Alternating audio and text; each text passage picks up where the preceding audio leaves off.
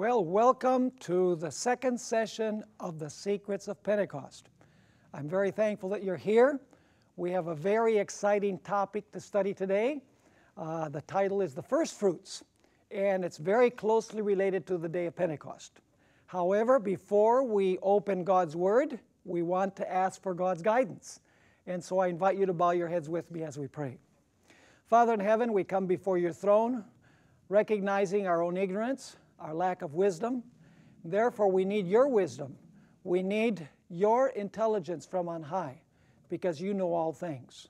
So we ask that as we study this uh, topic about the first fruits, that your Holy Spirit will be with us to open our understanding and to open our hearts to receive that which you have for us. And we thank you, Father, for the privilege of approaching your throne in prayer. And we thank you for hearing us because we ask it in Jesus' name. Amen. It was the Sunday before the triumphal entry, uh, the Sunday of the triumphal entry of Jesus into Jerusalem. As Jesus had entered Jerusalem, a group of Greeks approached the apostle Philip.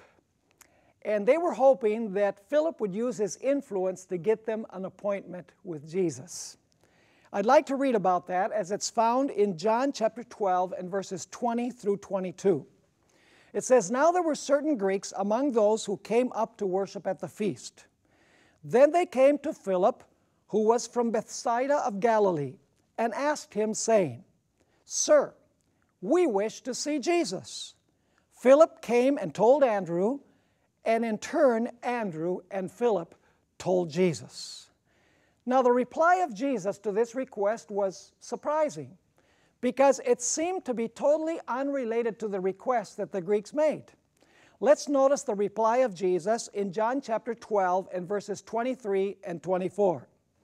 But Jesus answered them, saying, The hour has come that the Son of Man should be glorified. Most assuredly, I say to you, unless a grain of wheat falls into the ground and dies, it remains alone. But if it dies, it produces much fruit. Now, the answer of Jesus appears to be somewhat disjointed from the question that the Greeks had asked. What's happening here? Well, let me explain. The Greeks wanted an interview with Jesus because they were desirous of Jesus to go to Greece to uh, teach and to perform some of the works of healing that uh, he had performed in the Holy Land. And they wanted Jesus to come to their country. It just so happens that the answer of Jesus was very clear and very direct that his role was not to go to Greece at that time because he had his face steadfast towards Jerusalem. Jesus knew that he had to die. If he didn't die, then any preaching or any healing among the Greeks would be totally fruitless. You see, that grain of wheat was none other than Jesus Christ. And as the grain of wheat falls into the earth, the seed dies, and then it sprouts forth to life again. Jesus was going to die, he was going to go to the tomb, and then he was going to sprout up again, he was going to resurrect. And when Jesus resurrected, as a result, then there would be much fruit among the Gentiles and among the Greeks. And so Jesus said, If I don't fall into the ground and die and sprout forth again in resurrection, I will remain a solitary grain of wheat. But if I fall into the earth and I die and I sprout, forth to new life, then there will be much fruit, there will be many conversions to the truth. Now, in order to understand what we're going to study today, we need to comprehend the spring feasts of the Hebrew calendar there were four feasts that were celebrated in the spring in Israel. I'm going to review those in, uh, so that we have the context for what we're going to study in our topic today. The first feast was the Passover. And referring to the times of Christ, the Passover was fulfilled on the sixth day of the week, that is, on Friday, which was the 14th day of Nisan. Now, on the Passover, the lamb was slain. And of course, that represented the death of Christ on that very day. And then after this, we have the next feast, which is the Feast of Unleavened Bread. The Feast of Unleavened Bread took place on Sabbath, the day after the Passover, with regards to Christ. Uh, the unleavened bread took place on the 15th day of Nisan. And basically, the children of Israel ate unleavened bread. And the reason why is because, in fulfillment, the unleavened bread represented the body of Christ, which had no sin. That's why the bread had no leaven. And then you have a third festival, which is the festival of the first fruits. That was fulfilled in Christ on Sunday morning. It was fulfilled on the 16th day of Nisan.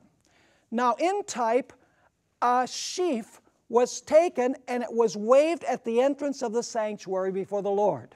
And of course, that was fulfilled when Jesus ascended to heaven and he presented himself before his Father on resurrection morning. And we're going to study all of these things in more detail, but I want you to have the picture now. And then, after the sheaf was waved before the Lord, a period of 50 days went by, and then you have what is known as the Feast of Pentecost. That's when the Holy Spirit was poured out.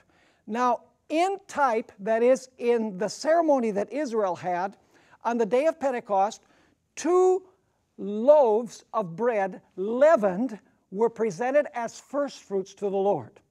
And so that we're going to notice represents the fact that when Jesus ascended to heaven, he presented those who resurrected with him, and he also presented before his Father the first fruits that were converted on the day of Pentecost, which were actually 3,000. Those are the two loaves of bread that were presented as the first fruits on the day of Pentecost. Now, let's review then the three feasts because they're extremely important for understanding what we're going to study. Passover, the 14th of Nisan on a Friday. Unleavened bread, the 15th of Nisan on a Sabbath. Uh, first fruits, the 16th of Nisan on the first day of the week or a Sunday. 50 days later, Pentecost, when the two loaves of leavened bread were presented as the first fruits to the Lord on the Feast of Pentecost. So, is that clear? Is the chronology clear? Now, let's study the first fruit ceremony that took place in the third festival of the Jewish year. We're referring now not to the Passover, not to unleavened bread, but to the festival that came after unleavened bread. Leviticus chapter 23 and verses 9 through 12 describes the way in which Israel celebrated this ceremony. And so let's notice Leviticus 23 and verses 9 through 12. It says there, the Lord said to Moses, Speak to the Israelites and say to them, When you enter the land I am going to give you, and you reap its harvest, now I want you to notice the elements. Bring to the priest a sheaf of the first grain of your harvest. He, that is the priest, is to wave the sheaf before the Lord so it will be accepted on your behalf. The priest is to wave it on the day after the Sabbath. So we've read the passage. Now let's review some of the details uh, that we find in this passage. First of all, the how uh, the Feast of First Fruits was celebrated. I'll explain it. It's very simple. The Israelites each Israelite family was, would cut the first fruits of the barley harvest in their own fields. Then they would take several stalks of the grain and they would put them together and formed a sheaf out of several stocks. Then each family would bring the stock to the sanctuary and they would give it to the priest. And then the priest would go to the entrance of the sanctuary building and he would wave this uh, sheaf of first fruits of barley before the Lord, and then it was accepted in the sight of the Lord when it was waved before him. So that's the how this ceremony uh, transpired in Israel. Now, the question is when did this ceremony take place? Well, as we read, it took place the day after the Sabbath. Now, uh, there's some controversy even among Jewish scholars as to which Sabbath is referred to here. Because the ceremonial Sabbath of unleavened bread was before the first fruits were offered. And the seventh day Sabbath uh, also could be meant by the Sabbath that was before the uh, sheaf was offered before the Lord. So the big question is uh, was the sheaf waved before the Lord after the ceremonial Sabbath of unleavened bread, or was it waved before the Lord after the seventh day Sabbath? The text doesn't specify, it simply says that the priest is to wave it on the day after the Sabbath. Now, I want you to just to keep this in mind. It's the day after the Sabbath. We have to determine whether it's the Sabbath of unleavened bread or whether it's the seventh day Sabbath. And we'll come back to that later. For now, I just want you to remember that it's, it takes place after the Sabbath, whether ceremonial or moral. Now, we need to ask the question what time of the day were the first fruits offered or waved before the Lord? Now, each feast, it's, impor- it's important to realize, was fulfilled punctually. In other words, each feast was fulfilled not only as to the day, but also with regards to the hour. Now, we know that Pentecost occurred exactly 50 days after the first fruits were waved before the Lord. That's important to know. The, the Pentecost, which was the fourth feast of the Hebrew year, took place 50 days precisely and exactly after the first fruits had been waved before the Lord. Now, we do know at what time the Feast of Pentecost was fulfilled. I want you to notice Acts chapter 2 and verse 1. We're going to actually work backwards. We're going to work from the Feast of Pentecost backwards to determine the hour at which the sheaf was waved before the Lord. Notice Acts chapter 2 and verse 1.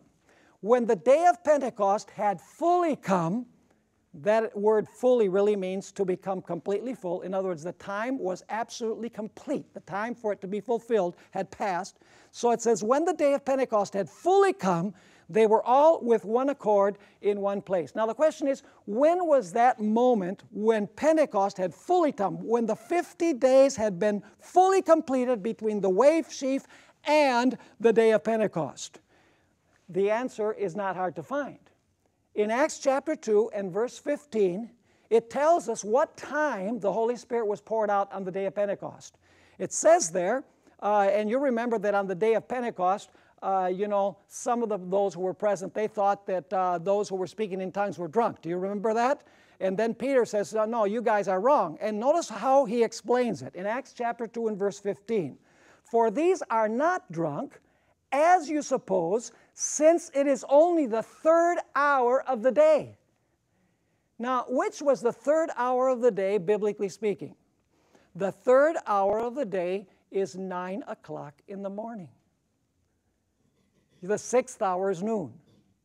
The ninth hour, which is the hour that Jesus died, would be 3 o'clock in the afternoon. So, in other words, Pentecost fully came at the third hour at 9 o'clock in the morning. And now listen up. And first fruits were waved before the Lord exactly 50 days earlier. So, at what time was the wave sheaf waved before the Lord? At 9 o'clock in the morning. That's a very important detail we're going to notice. Now, the, the Feast of First Fruits was fulfilled by Jesus Christ. Jesus fulfilled the Passover because he was the Passover lamb. Jesus fulfilled the unleavened bread because his body had no leaven of sin, and therefore his body saw no corruption. And Jesus also fulfilled the first fruits ceremony. Now, the question is, uh, when did Jesus fulfill this particular ceremony, the first fruits? We read that it was after the Sabbath that the first fruits were waved before the Lord. Now, whether it was the ceremonial Sabbath or the moral Sabbath doesn't make any difference whatsoever. Because we know that when Jesus was on this earth, the ceremonial Sabbath of unleavened bread fell the same day as the seventh day Sabbath. It was a high day.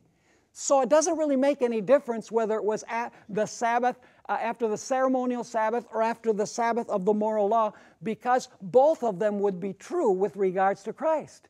because the day after Passover was unleavened bread, and that was a Sabbath, and we know that Jesus rested in the tomb on the Sabbath. And the next day was the day that he presented the wave sheaf. So we know that Jesus presented the wave sheaf on the day after the first Sabbath of unleavened bread, on the day after the seventh day Sabbath. In other words, Jesus celebrated the wave sheaf the day of his resurrection. Now, the question is at what time did this happen? We've already noticed that it took place about 9 o'clock in the morning. Now, let's study a little bit about an encounter that Mary Magdalene had with Jesus in the garden the morning of the resurrection. Go with me to John chapter 20 and verse 17, and I am reading from uh, the New King James Version. As you remember, when Jesus spoke to Mary in the garden, Mary immediately recognized his voice.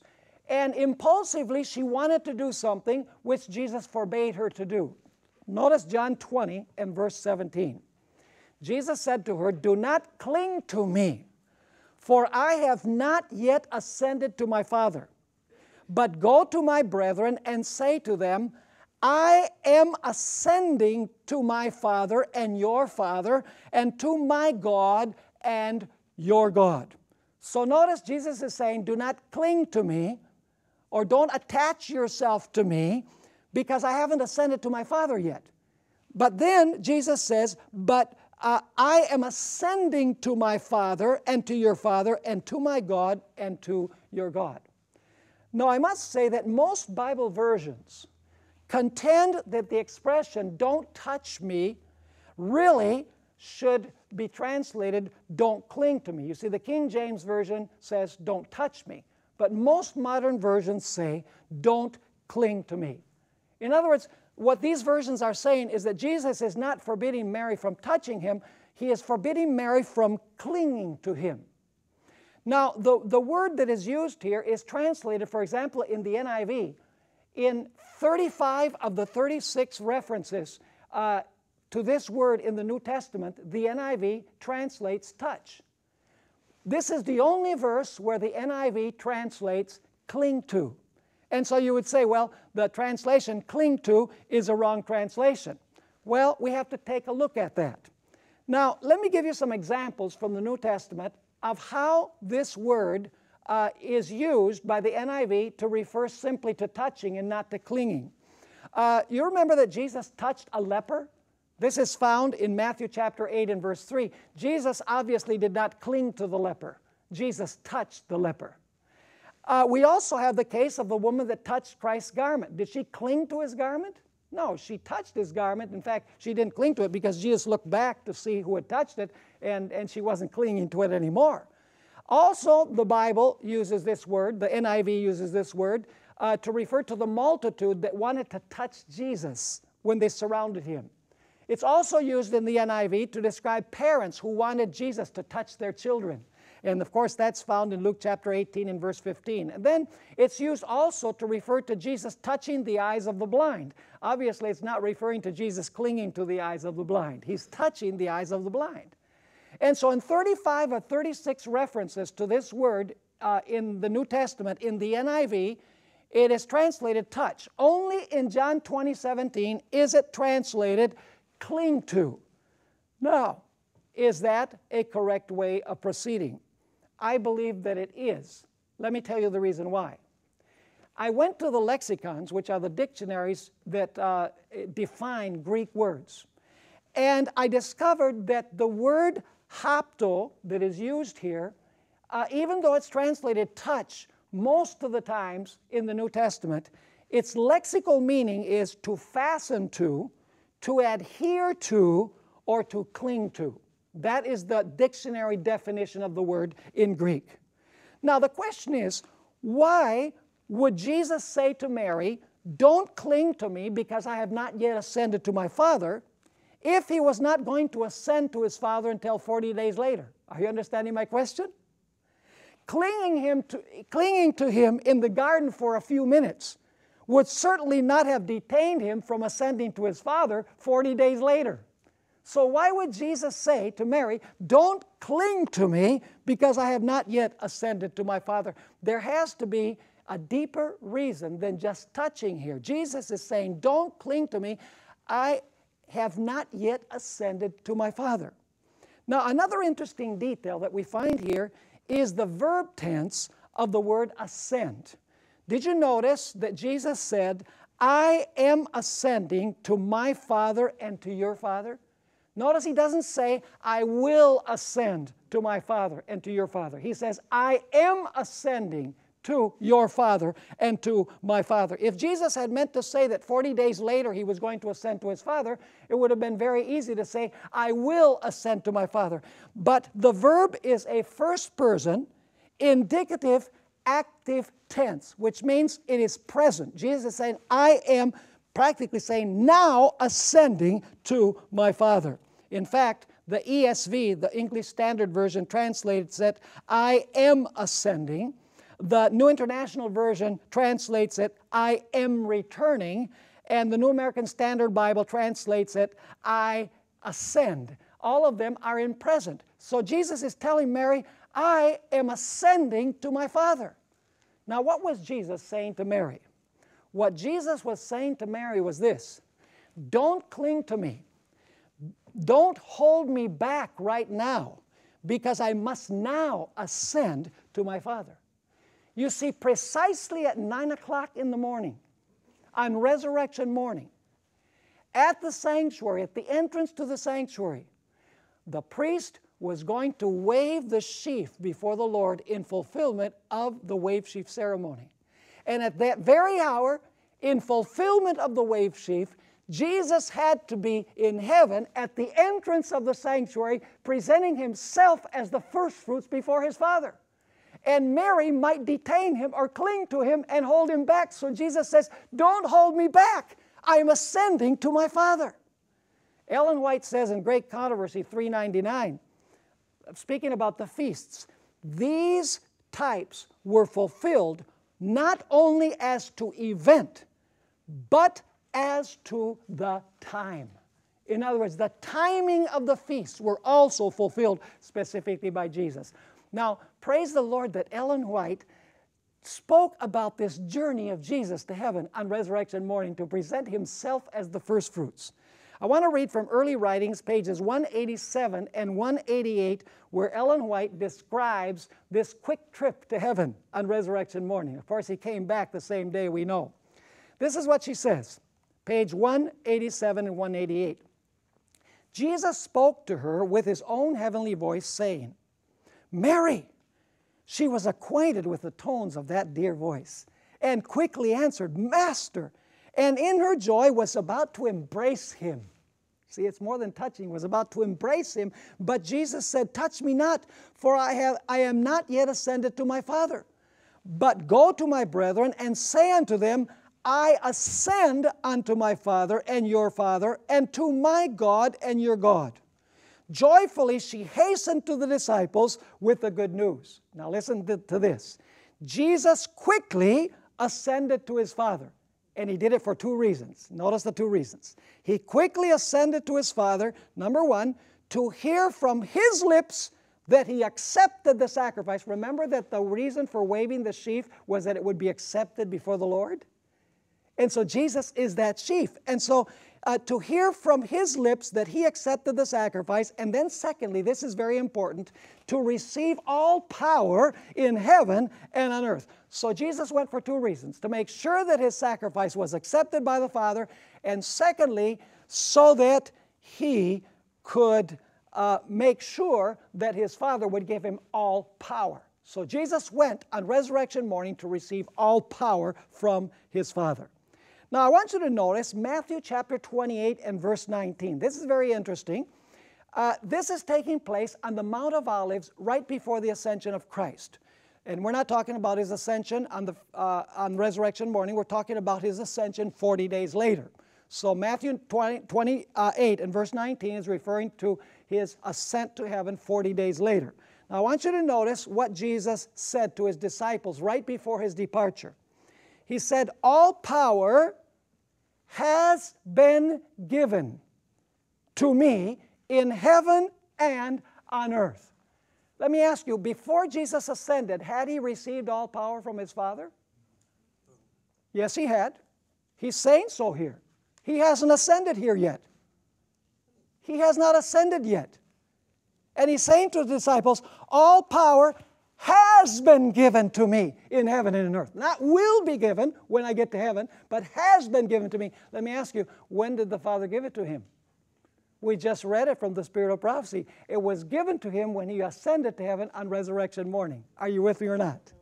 Now, let's finish reading this statement from Ellen White. Incidentally, that verb, all power has been given to me, is an indicative passive aorist. The aorist tense in Greek is past. There's no doubt that Jesus is saying, I have already received power from my Father before he ascended to heaven, because he had received it in his first ascent to heaven, the morning of the resurrection. Now let's complete Ellen White's statement about the ascension, the quick ascension of Christ on the first day of the week. It says there, angels like a cloud surrounded the Son of God and bade the everlasting gates be lifted up, that the King of glory might come in. I saw that while Jesus was with that bright host, in the heavenly host, in the presence of God, and surrounded by his glory, now listen carefully, he did not forget his disciples upon the earth, but received power from his Father, that he might return and impart, power to them. Now you say, but he didn't give them power until the day of Pentecost. Oh, yes, he did. You remember when Jesus appeared to them uh, th- that he breathed upon them the Holy Spirit? This is before the day of Pentecost. And so they did receive power from Christ before the day of Pentecost. And so once again, we go here to the conclusion of the statement where she says, um, he did not forget his disciples upon the earth, but received power from his Father. This is resurrection morning, that he might return and impart power to them. And then she says, the same day he returned and showed himself to his disciples. He suffered them then to touch him, for he had ascended to his Father and had received power. Is that clear? It's amazing how Ellen White is always so much in harmony with Scripture. Now, I want to read Ellen White's explanation of the wave sheaf ceremony and what it meant the pre- presentation of Jesus at the door of the tabernacle in heaven, the door of the temple in heaven, as the first fruits. It has a special meaning. Notice Desire of Ages, pages 785 and 786, and then we're going to show that Ellen White is in perfect harmony with the Bible. Notice, Christ arose from the dead as the first fruits of those who slept. He was the antitype of the wave sheaf. See, there it is. He was the antitype or the fulfillment of the wave sheaf. And his resurrection took place on the very day when the wave sheaf was to be presented before the Lord. For more than a thousand years, this symbolic ceremony had, ceremony had been performed. From the harvest fields, the first heads of ripened grain were gathered, and when the people went up to Jerusalem to the Passover, the sheaf of first fruits was waved as a thank offering before the Lord. Not until this was presented could the sickle be put to the grain and it be gathered into sheaves. The sheaf dedicated to God represented the harvest. So Christ, the first fruits, represented the great spiritual harvest to be gathered for the kingdom of God. In other words, when Jesus appeared before his Father, that was a little sample that the one who resurrected from the dead someday will resurrect all of the dead all of those who, that have died in Jesus Christ. In other words, when Jesus presented himself before his Father as the wave sheaf, that one sheaf from the field, the first fruits, Jesus was saying there are going to be lots of last fruits. There's going to be an abundant harvest of those who have died in Christ. Now, the Apostle Paul agreed with Ellen White, or perhaps I should say Ellen White agreed with the Apostle Paul because she wrote after he did. Notice 1 Corinthians chapter 15 and verse 20. 1 Corinthians chapter 15 and verse 20. Here the Apostle Paul, first of all, tells us that Jesus fulfilled the first fruit ceremony or the wave sheaf ceremony. This is how he expresses it. But Christ has indeed been raised from the dead, the first fruits of those who have fallen asleep. So is Christ the first fruits according to the Apostle Paul? Is his resurrection related to the first fruits? Absolutely. But there's another interesting detail. Ellen White says that Jesus presenting himself as the first fruits was a little sample of the great harvest of God's people at the end of time, those who have died in Christ. The Apostle Paul says the same. Notice what we find in 1 Corinthians 15 22 and 23. For as in Adam all die, even so in Christ all shall be made alive, but each one in his own order. Christ the firstfruits. Afterward, those who are Christ's at his coming. So you see, Christ the firstfruits, and then the, the last fruits come when? When Jesus comes at his coming. And so Ellen White certainly was in agreement with the Apostle Paul that the first fruits ceremony was fulfilled in Christ and that it represented the great harvest of the last fruits at the coming of Jesus Christ. Now, I want you to notice that there were also first fruits offered to the Lord on the day of Pentecost. Now we're talking about 50 days after the wave sheaf was waved before the Lord on resurrection morning. 50 days later, on the day of Pentecost, there were also first fruits offered to the Lord. Those are the two festivals where you have first fruits offered before the Lord. So let's examine uh, the, the prophecy that we find in the Old Testament about the first fruits that were offered on the day of Pentecost. It's found in Leviticus 23 and verses 15 through 18. Leviticus 23 and verses 15 through 18. It says, And you shall count for yourselves from the day after the Sabbath. You remember that's the first fruit ceremony. It took place the day after the Sabbath. In other words, from that moment, from the day that you brought the sheaf of the wave offering, seven Sabbaths shall be completed. Count 50 days to the day after the seventh Sabbath. So, in other words, after the wave sheaf was waved before the Lord, 50 days to the very day we're supposed to pass. And then it continues saying in verse 16 Count 50 days to the day after the seventh Sabbath, then you shall offer a new grain offering to the Lord. You shall bring from your dwellings, now notice this, two wave loaves, so two loaves of bread, of two tenths of an ephah. They shall be of fine flour, they shall be baked with leaven. So notice the two loaves of bread that were presented were with leaven, and then it says, they are the what? The first fruits to the Lord. The two loaves were the first fruits to the Lord. And the loaves were what? The loaves had leaven. Now, this is interesting because at Passover, the bread could have no leaven. But at Pentecost, the two loaves were to have leaven. So, what could this possibly mean? Well, let's go to Matthew 13 and verse 33, which is the parable of the leaven that Jesus told. Matthew 13 and verse 33. And I want you to notice that we're dealing with two symbols here uh, in, in this ceremony, in this uh, ceremony where you have the two loaves that are presented before the Lord. You have, first of all, a loaf and secondly, you have the leaven in the loaf. Two symbols. And we need to determine what those two symbols represent or mean. Matthew 13, verse 33 says, In another parable he spoke to them. The kingdom of heaven is like what? Like leaven, which a woman took and hid in three measures of meal to make what? To make a loaf of bread, right? So it says, uh, she hid in three measures of meal till it was all what? Till it was all leaven. So you have a lump of dough, and inside the dough, you have what? You have leaven. Now, immediately to your mind comes the idea well, in the Bible, leaven represents sin.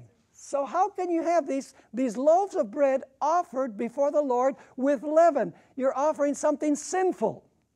Well, it is true that the loaves the, the, that the bread could not have leaven at the Passover. But that's not true of Pentecost. Now let's examine the bread that was used at Passover. Go with me to 1 Corinthians chapter 5 and verses 6 through 8. Now we're going back, we're talking about Passover, we're, we're backtracking, we're not talking about what happened at Pentecost, because I want to clarify in your mind why at the feast of Passover you have bread without leaven, and at Pentecost you have two loaves with leaven. Now notice 1 Corinthians 5 6 through 8. Paul says to the Corinthians, Your glorying is not good. Do you not know that a little leaven leavens the whole lump? And of course, the lump represents the Corinthian church. So he says, a little leaven leavens the whole lump, the whole church. Therefore, he says, purge out the old leaven, that you may be a new lump, that you may be a new lump. So the Corinthian church is the lump of dough. Since you, he says once again, truly are unleavened, for indeed Christ our Passover was sacrificed for us. Verse 8 Therefore let us keep the feast, that is the Passover on unleavened bread, not with old leaven, nor with the leaven of malice and wickedness, but with the unleavened bread of sincerity and truth. So, what is Paul telling the Corinthian church?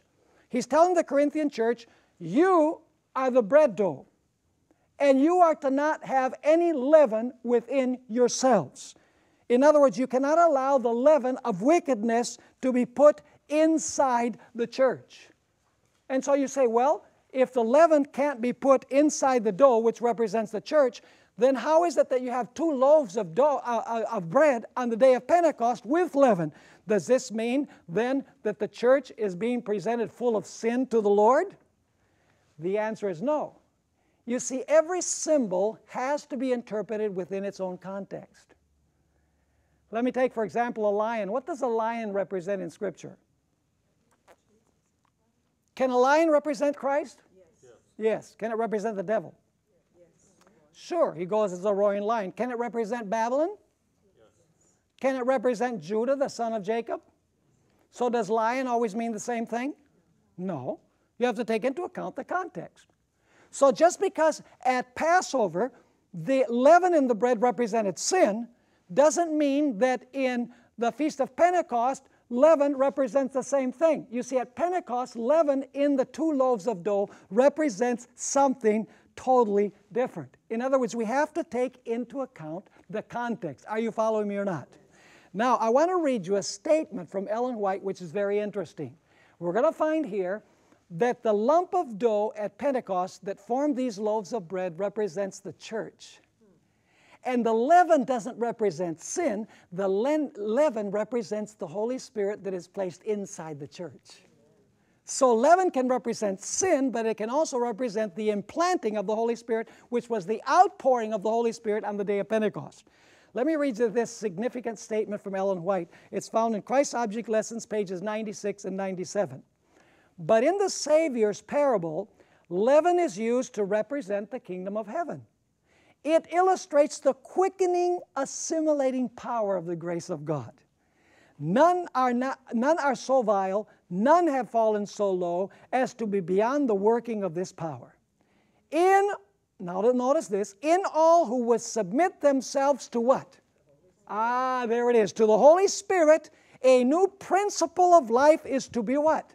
Just like the leaven is implanted in the dough. To be implanted the lost image of God is to be restored in humanity. She continues saying, But man cannot transform himself by the exercise of his will. He possesses no power by which this change can be effected. The leaven, something wholly from without, must be put into the meal before the desired change can be wrought in it. So the grace of God must be received by the sinner before he can be fitted for the kingdom of glory. All the culture and education which the world can give will fail of making a degraded child of, sin, child of sin a child of heaven. The renewing energy must come from God. The change can be made only by the Holy Spirit. All who would be saved, high or low, rich or poor, must submit to the working of this power. And so on the day of Pentecost, the, the loaves of bread represent the church and the leaven in the dough represents the implantation of the power of the Holy Spirit because the Holy Spirit was poured out on the day of Pentecost. Now you say, Pastor Bohr, but why do you have two loaves of leavened bread? Don't we have just one church? Why not just one loaf? Why two loaves on the day of Pentecost?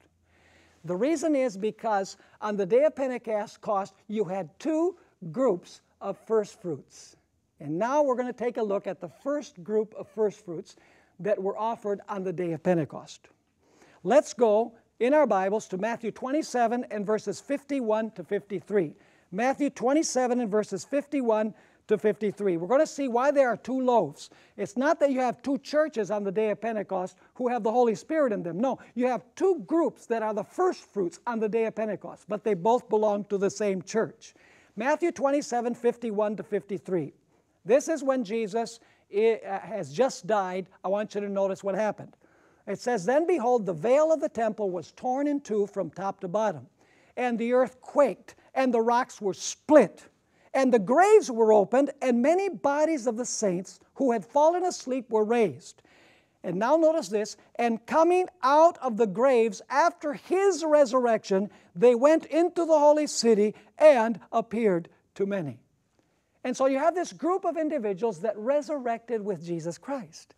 Now, what happened with these individuals? The Bible doesn't directly address it, although we're going to find that the Apostle Paul has some strong uh, language that will help us understand who they were. The Spirit of prophecy has no doubts as to who they were and what eventually happened to them.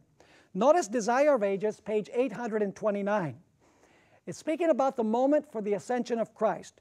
The time had come for Christ to ascend to his Father's throne.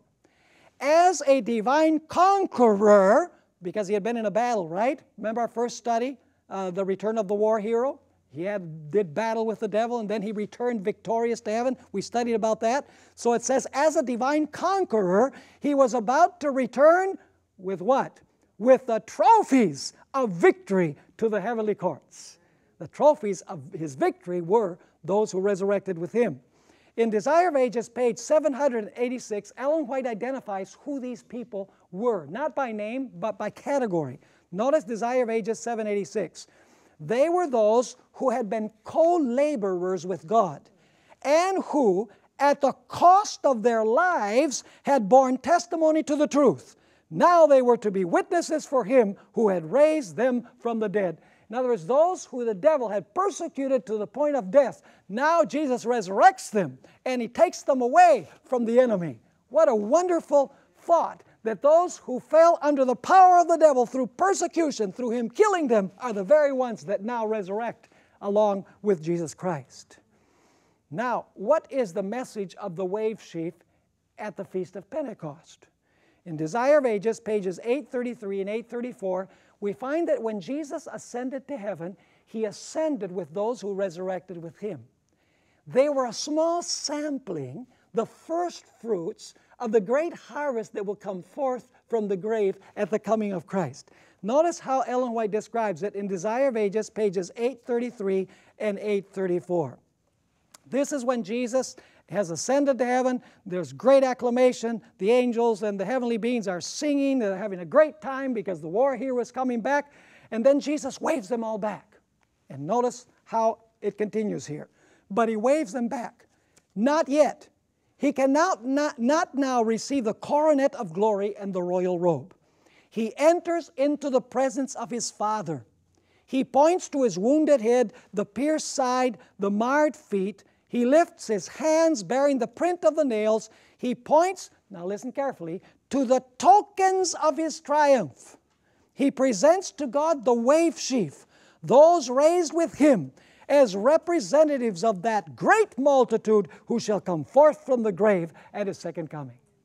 You see, on resurrection morning, Jesus presented himself before the Father as the first fruits, but he says now somebody might get the wrong impression that there's not going to be others there too. So now he takes a group of martyrs who have resurrected with him. He says, here's the little sampling from the human race that is going to resurrect as a sign of the great resurrection at the end of time. Now, the Apostle Paul had something very specific about to, uh, about to say about the feast of Pentecost and the first fruits. Go with me to Ephesians chapter 4 and verses 7 through 13. Ephesians chapter 4, verses 7 to 13, and we'll move through this quickly because our time is very brief. Here, the Apostle Paul is speaking about spiritual gifts. You remember when Jesus went to heaven, he gave the gift of the Holy Spirit, and with the Holy Spirit come the gifts of the Holy Spirit? Remember the gifts of the Holy Spirit? You know, like apostles, prophets, uh, healings, tongues, all of those gifts that come when they receive the Holy Spirit. Now, the Apostle Paul is speaking about the moment when those gifts were given. And I want you to notice the details here. Ephesians chapter 4, 7 to 13, and you have explanatory notes there in brackets. But to each one of us, grace, the Greek word is charis, from where we get the word charismata, which is the word gifts in the New Testament. But to each one of us, grace was what?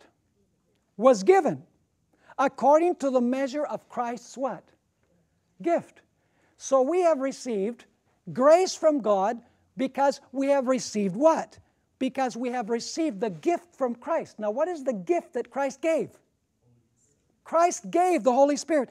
In fact, Jesus referred to this in Luke 11, verse 13, where he said, If you parents know how to give good gifts to your children, how much more will your Heavenly Father give you the gift of the Holy Spirit? It's the very same word. And so this is speaking about the gift of the Holy Spirit on the day of Pentecost. Now let's continue reading. Verse 8. Therefore, he says, because he has given this gift, he says, when he, that is when Jesus, what? Ascended on high. What event is that describing? The ascension of Christ, right? When he ascended on high, he led captivity captive. What does that mean, he led captive? Who was captive in the graves at that time? Ah, those who had resurrected with him, they had been captive in the grave. And now Jesus took them out and he takes captivity captive. So it says, uh, when he ascended on high, he led cap. Notice it doesn't say he took, it says he led. He's the war hero. He led captivity captive. And what did he do when he led captivity captive? When he presented that wave sheaf before the Lord? What did he do on the day of Pentecost? He gave what? He gave gifts to men, which are the gifts of the Holy Spirit on the day of Pentecost. Verse 9 Now this, he ascended. What does it mean? But that he also first descended into the lower parts of the earth. He who descended, it's talking about his, his death and his burial. He who descended is also the one who what? Who ascended. Is it talking about his ascension? Is that when he took captivity captive? Is that when he gave gifts to men? Absolutely. So notice it continues saying here, uh, in verse 10, he who descended is also the one who ascended far above all the heavens that he might fill all things. And then it speaks about the gifts of the Holy Spirit. It says, He himself gave some to be apostles, some prophets, some evangelists, and some pastors and teachers. And then it gives us the reason why God gave these gifts for the equipping of the saints, for the work of ministry, for the edifying of the body of Christ, till we all come to the unity of the faith and of the knowledge of the Son of God, to a perfect man, to the measure of the stature of the fullness of Christ. So let's summarize what we've seen from this passage. First of all, do we have a clear allusion to the death and burial of Christ? Yes or no? Absolutely. Do we have a clear reference to the ascension of Christ? Absolutely. The expression when he ascended is used twice in this passage. Do we have a reference to him taking captivity captive when he ascended to heaven? Absolutely. Do we have a reference to him giving the gift and giving the gifts? This passage is talking about the day of Pentecost. It's talking about when Jesus presented himself as the wave sheaf. Now, we need to understand, and this is very important, that the background of Ephesians 4 is Psalm 68. Now, Psalm 68 is a very interesting psalm. It's talking about the victory of God over his enemies. And now God is in a procession back to Mount Zion in Jerusalem, victorious amidst the acclamations of his people. And of course, that's symbolic of the victory of Christ over the devil and over his enemies and his procession to heaven, to the heavenly Zion, victorious as the war hero. Now I want you to notice Psalm 68 and verse 1. Psalm 68 is quoted by the Apostle Paul when it says, He took captivity captive and gave gifts to men. This comes from Psalm 68, verse 18. It's a quotation. So we know that Psalm 68 has to be connected with uh, this passage in Ephesians 4. And so it says in verse 1 let God arise. Let his enemies be scattered. Let those who hate him flee before him. See, this is a, the, the victory of God in battle. And then I want you to notice verse 4.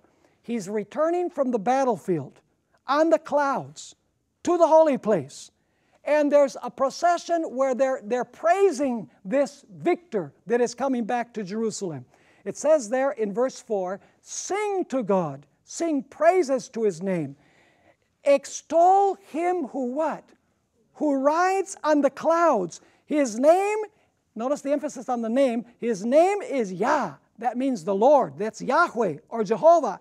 And rejoice before him. So he's coming back and there's rejoicing and his name is being proclaimed. You know, this reminds me of Psalm 24. Do you remember that we studied in our first uh, topic about the return of the war hero and how the angels were singing Psalm 24? Let me just read verses 8 and 9. Lift up your heads, O ye gates, and be lifted up, you everlasting doors, and the King of glory shall come in. This is what the angels were singing as Jesus approached the holy city at his ascension. And then those angels who are waiting inside say, Who is this King of glory? And the answer comes from those who are escorting Jesus, the Lord. That's the same name, Yahweh.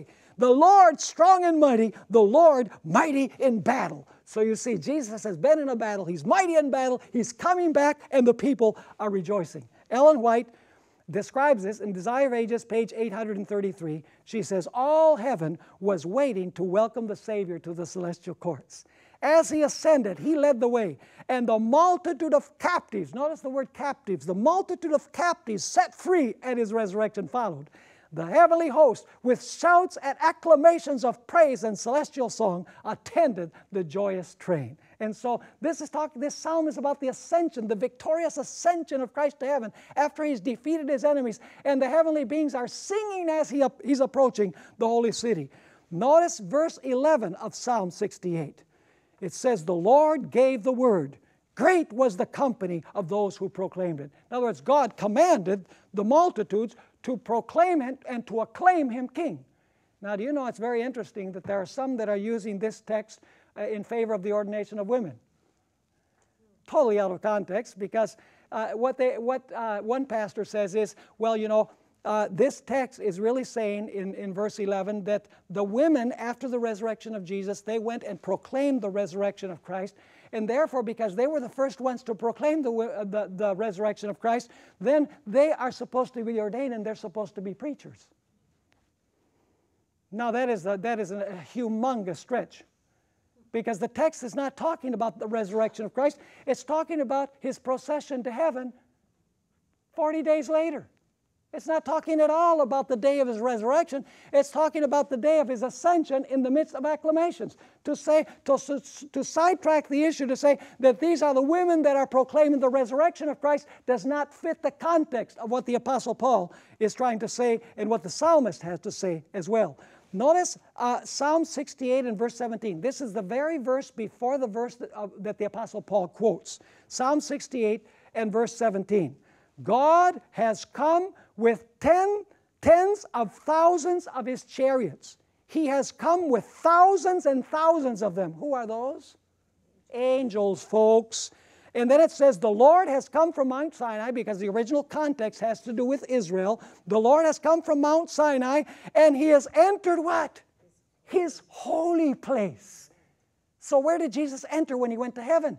He entered the holy place. This has nothing to do with his resurrection. This has to do with his procession after Jesus is ascending to heaven. Notice verse 24. I'm reading from the New International Version. It says, speaking about this procession, it says, Your procession has come into view, O God.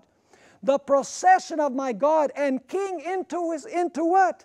Into the sanctuary. What is he doing? He's coming into the sanctuary, the heavenly sanctuary at his ascension. And then, of course, you have verse 35 of Psalm 68, which is very significant. It says, Oh God, you are more awesome than your holy places. The God of Israel is he who gives strength and power to his people. What did God do on the day of Pentecost? He gave what? He gave strength and power to whom? He gave strength and power to his people.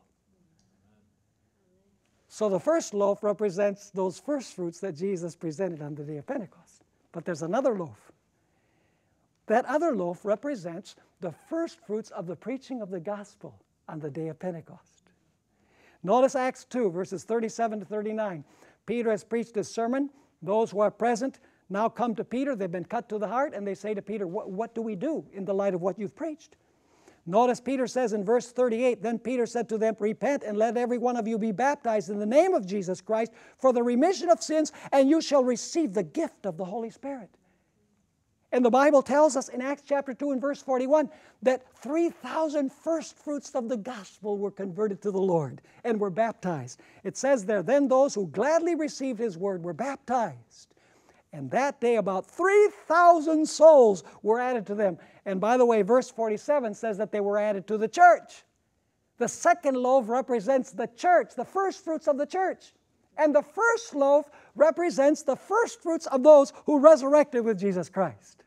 Now, what is the good news of all of this?